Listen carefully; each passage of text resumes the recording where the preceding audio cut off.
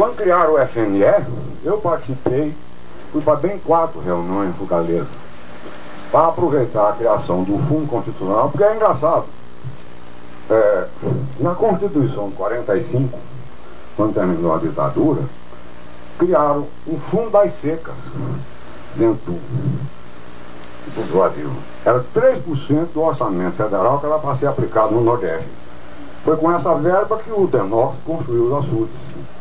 Era com essa rubrica que alimentava nos convênios o grupamento de engenharia para construir obra no Nordeste. Foi com essa rubrica que foi subscrito o capital inicial do Banco do Nordeste, como agência de fomento para o Nordeste, seco. Pois bem, aí extinguiram o fundo das secas da Constituição de 67. O mesmo homem que criou o Banco Nordeste, Ron de Almeida, fez a maior campanha na Constituição de 88, foi recriado o Fundo Constitucional. Só o número mesmo, 3%. Só que para aprovar no Congresso, o carro da bancada de São Paulo, tiveram que se compor. Dos 3%, 1,8% vem para o Nordeste, 0,6% vai para o Centro-Oeste, 0,6% para o Norte. Numa área que é 6 sétimos do território do país, o Centro-Oeste mais o Norte mais o Nordeste. Chega, fica sendo um artigo ridículo da Constituição, né? Se você olhar para. É, aí ele disse, rapaz, eu cheguei à conclusão seguinte, que quem se financiou com crédito rural na Nordeste nos últimos 10 anos e não está inadimplente e pagou é porque roubou de algum canto. Inverteu, né? Tá certo? É porque furtou de algum canto. E foi atrás, tinha bem uns 4 ou 5 funcionários públicos que tinham acesso à verba, não sei o que, pagaram a conta com isso. E ficava rotando. Na Assembleia de Currais Novo, apareceu um desses. Aí o senhor disse, se meteu numa concorrência para fazer obra para o Estado, passou a mão, foi com esse dinheiro que ele pagou e está aí contando golga. Quer dizer, ficou de cabeça para baixo. Desonesto é quem pagou. Entendendo? Não é engraçado? Que situação horrível a gente está vivendo, né? Bom, agora veja. Era só para mostrar como é. Bota a outra, por favor, ver o negócio do mundo de dia de chuva. Essa, é bem depressa, essa daí, com chuva maior do que 5 milímetros. Uma chuva de 5 milímetros, anteontem deu uma de 30, e depois da manhã da outra de 30, uma de 5 no meio, ainda molha o pé do capim do pasto ou, ou, da lavoura, não é? Se é uma chuva de 5 milímetros isolada, não vai nada. Tanto que ele só considera a chuva mínima 10 milímetros. Se considerar a mínima, repare, tem uma média de 14 dias com chuva maior que 10 milímetros no semiárido. Eu tenho a impressão que essencialmente a situação é a mesma. Essa daí é lá em casa, no Cariri, onde chove menos do que aqui. Mas em termos de número de dias de chuva, é capaz de ser uma coisa bem aproximada, não é? 14 dias, então tem que raciocinar em cima daí. Por exemplo, se raciocinar em cima daí, tem a primeira coisa. Não adianta você trabalhar aqui com planta temporária, anual. Que deve, tem que ser com planta perene. Isso aí eu tinha aprendido antes. Eu de tratorista lá, quando eu saí da Sudene, em 64, eu vi um pessoal, eu, eu arando terra no roçado lá do meu pai, e aí eu, eu via pé de milho de todo tamanho. Eu era muito amigo do morador, disse, não, isso aqui foi da primeira planta, da segunda planta, da terceira planta. Dá uma chuva planta. A segunda vem daí, um mês a lavoura que nasceu. Aí eu digo, pelo amor de Deus, no mundo inteiro o sujeito planta a lavoura uma única vez. Aqui numa região que o período de chuva é desse tamanho, primeira planta, segunda planta, esse negócio tá doido. Quer dizer, você já entra com a lavoura. Se chover bem sequinho, já estudaram isso lá no CEPAS. Para feijão e para milho.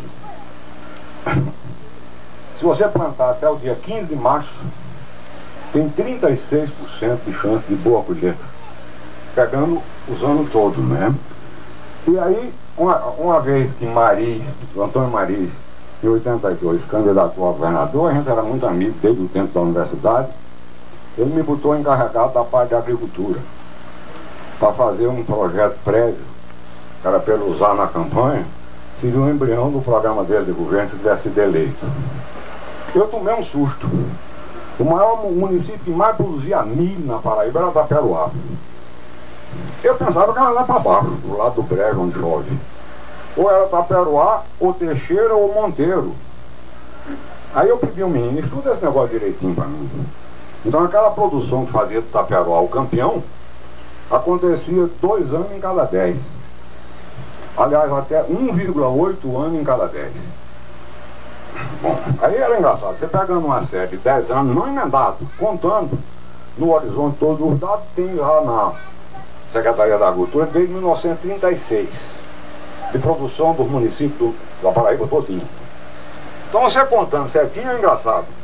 Aquela produção que fazia do Taperol o campeão, a verdade do pedaço, acontecia dois anos em cada dez.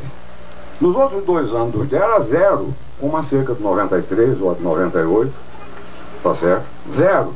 E nos outros anos, seis. A chuva da boneca, o veranico de maio, que é um fenômeno meteorológico nacional, pegava o milho e reduzia uma produção de 300, 400 quilos por hectare. Fazer disso a base da vida econômica e produtiva de uma região é, é, é tornar ela vulnerável demais.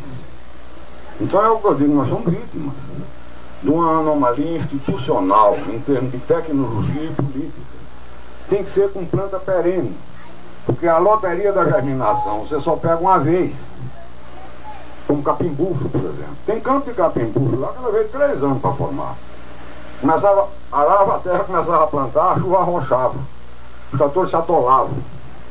Passava um mês. Quando desatolava, que eu arava, não tinha mais chuva para germinar. Está entendendo? Então tem que ser com planta perene. Ou lá, é por isso que só dá certo fruticultura em termos econômicos. Com planta perene. Até no Vale do São Francisco. As irrigação, é, melão, melancia, não sei o que. Quando você dá certo, é o pipoco. É, é uma coisa lotérica. Até com irrigação artificial. E é por isso que se consolidou no Vale São Francisco o quê? A irrigação de manga Quanto mais aqui que a gente fica no sequeiro, à mercê do regime da chuva, tá certo? Essa compreensão básica falta a ter nos textos e nas instituições oficiais em relação ao Nordeste. E é aí que começa o pecado, tá certo? Bom, agora deixa eu ver. Eu... É um indicador de uma enfermidade, tem alguma coisa errada. Quer dizer, crédito rural nesse país passou a ser um problema do judiciário tá certo? Da justiça. Tem uma coisa errada. É tão engraçado, para poder encerrar essa parte e voltar para as cabras, no mundo inteiro ninguém discute mais crédito rural nas Nações Unidas. Crédito rural é diferente de crédito comercial ou crédito industrial.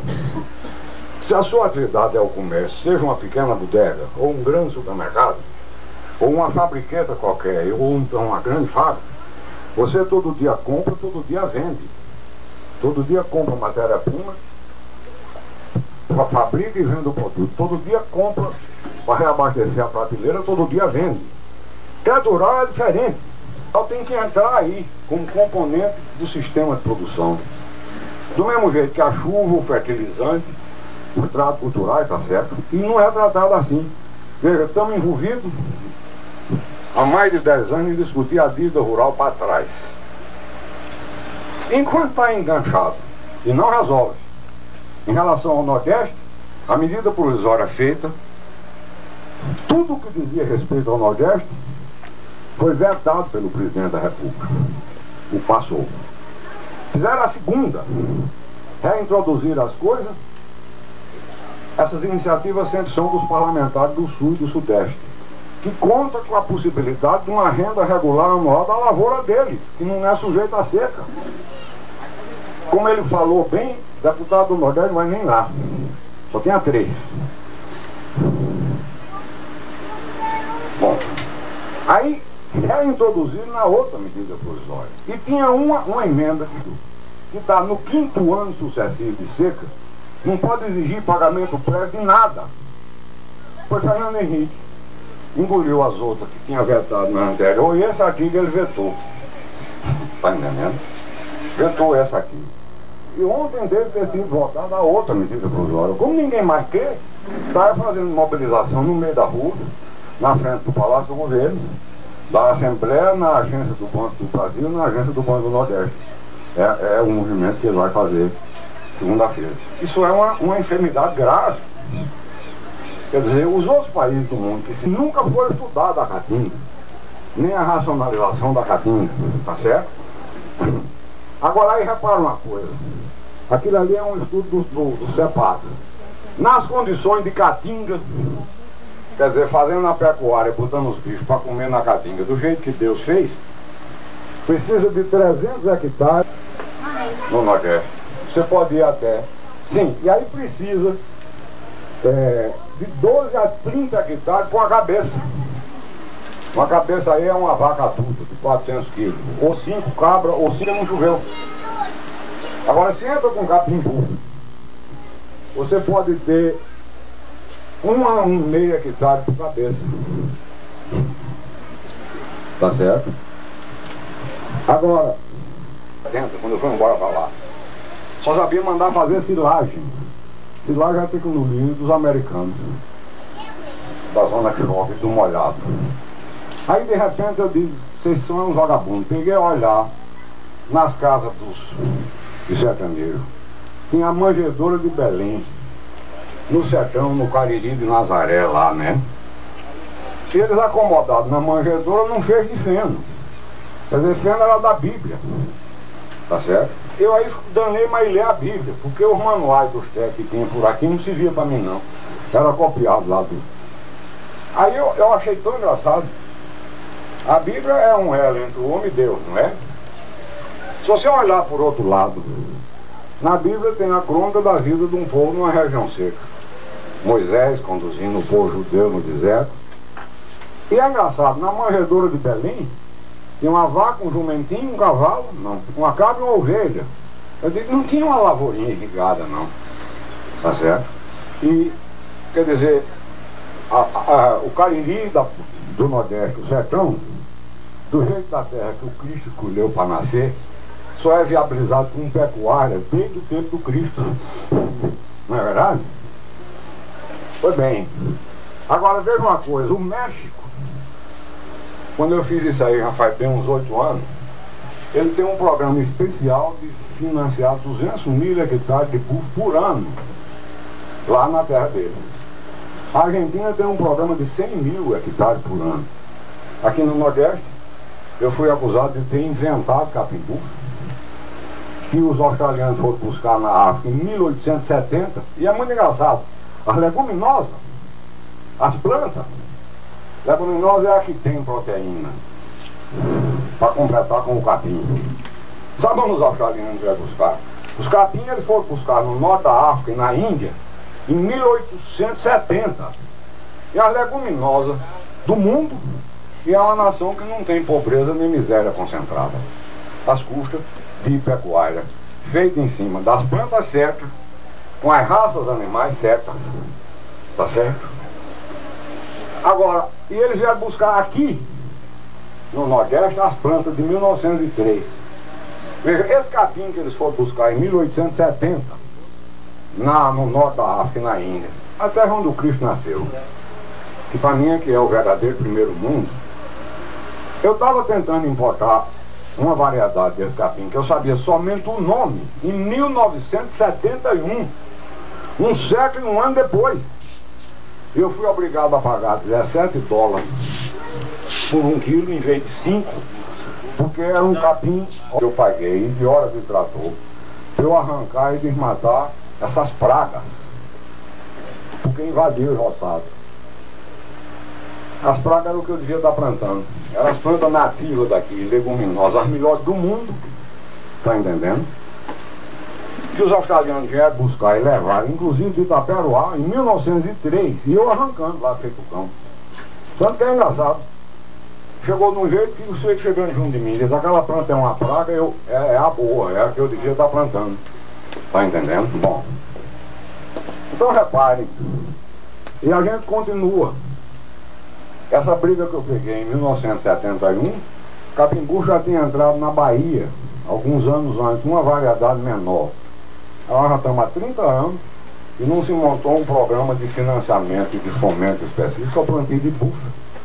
Preza era o centro de pesquisa petrolina. Se você tivesse financiado pelo FME, e se fosse uma propriedade de menos de 5 hectares, você empobrecia 36% por ano.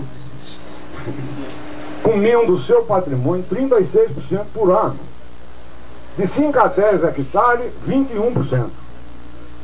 Tá certo? Se você pagasse as prestações do banco, significava você comer seu patrimônio 36% ao ano, se fosse numa fazenda menor do que 5 hectares, 21, 8,5, 7, 5,5. Quer dizer, o crédito rural aplicado no Nordeste significava botar o Nordeste como um todo, um todo, empobrecendo 13,5% ao ano. Tinha que desembocar na inadimplência. Porque aqui está errado atrás. Está correção monetária e não sei o quê. Os prazos são incompatíveis e ignoram a seca. E os efeitos da seca. Quer dizer, são formulações tecnicamente incompetentes. Bom, agora aí o mais engraçado é o seguinte, é pai, o movimento sem terra e o Instituto de Economia Agrícola do Brasil, que é do governo, estava fazendo a maior goga dos assentamentos que estava sendo feito pelo governo passado.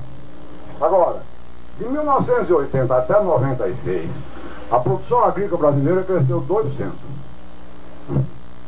De 89 a 96, 4%. Agora, de 89 a 96, a redução da renda rural foi 49%. É, é o que mais estava dizendo. Não tem mais o que armar contra nós, os produtores rurais do Nordeste, tá certo? Bom, e aí repare, no estado de São Paulo, de 95 a 96, foram desassentados 400 mil propriedades. O pessoal abandonou as terras, largou foi-se embora para as favelas da capital. Quer dizer, ele já tinha terra com escritura, com tudinho. E correu, expulso pela falta de política agrícola. Só em dois anos foram fechadas em São Paulo 400 mil propriedades que já estavam regularizadas com bens ocupados. Quer dizer, é uma enorme farsa. Agora bota o outro.